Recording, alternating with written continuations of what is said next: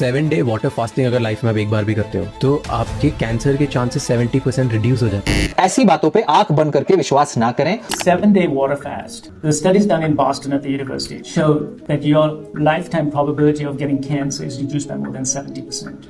Doctor भी गलत बोल सकता है doctor Jason Fung nephrologist doctor Walter Longo इन लोगों ने ये प्रूव किया कि हाँ actually seven day water fast जैसे सिंपल ट्रिक से 70 परसेंट कैंसर चांस कम हो जाता है देर इज़ नो रिसर्च ऐसी जिसने प्रूव किया हो या वो एक्सेप्ट हुआ हो कि फास्टिंग से कैंसर प्रिवेंट होता है। और इसका रीजन है ऑटोफेजी यानी अपने शरीर के अंदर के टूटे फूटे हिस्सों को खाना या उसके सेल्स के अंदर ब्रोकन प्रोटीन्स को यूटिलाइज करने की क्षमता बढ़ जाती है बिल्कुल बढ़ती है। एक्सटेंडेड फास्टिंग से और बढ़ सकती है लेकिन सब डेड सेल्स डैमेज सेल्स वो निकल जाते हैं। नए सेल्स होते हैं वो सेवन डेज़ के पीछे। बॉडी के natural killers macrophages dead cells को या मिसअलाइन सेल्स को मारना शुरू कर देते हैं, जिससे कैंसर होने का चांस कम हो जाता है। लेकिन एक्सटेंडेड फास्टिंग के साइड इफ़ेक्ट भी है। न्यूट्रिशनल डेफिशिएंसी हो सकती है ऑर्गन फेलियर हो सकता है सिवियर इलेक्ट्रोलाइट इंबैलेंसेस हो सकते हैं सीरियस बीमारियाँ हो सकती हैं। फास्टिंग करने से इंसुलिन की सेंसिटिविटी बढ़ सकती है इन्फ्लामेशन कम हो सकता है, लेकिन इनमें से किसी से भी कैंसर ना तो प्रिवेंट होगा, ना ही ठीक होगा। और यही सारी चीज़ें केवल कैलोरी रिस्ट्रिक्टेड डाइट में अगर आप लेंगे, अपनी रिक्वायरमेंट से थोड़ी कम कैलोरीज लेंगे, तब भी होती हैं।